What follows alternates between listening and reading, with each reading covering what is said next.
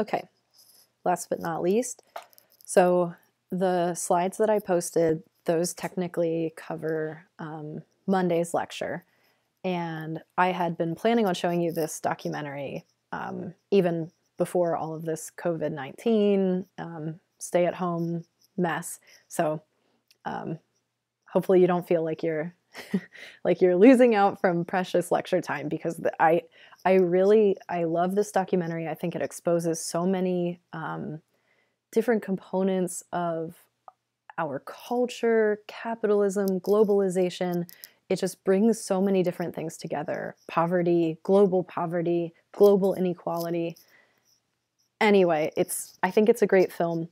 Um, obviously, it has its bias, and so one of the questions that you'll have to answer on your worksheet is about that bias. But um, you know, I still want you to approach the film with an open mind. A lot of students have really loved this film um, in previous classes and said that this was the thing that really um, impacted them the most after the class.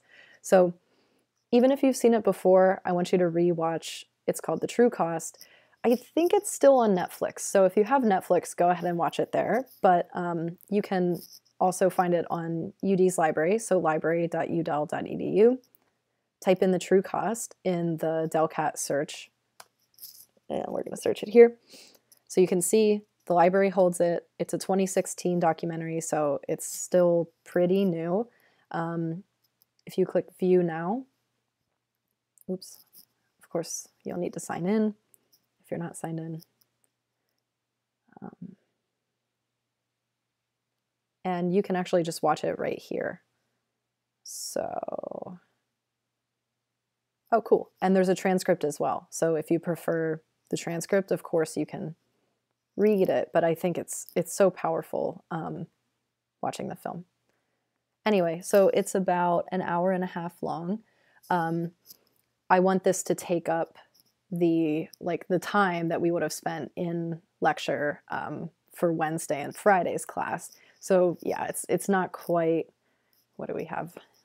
Um, an hour and 40 minutes or whatever um, but it's almost there. So I want you to watch the whole thing, and there are questions about this in your worksheet. So please make sure that you're either answering those questions while you're watching, or maybe you save the worksheet for afterward and take notes while you're watching.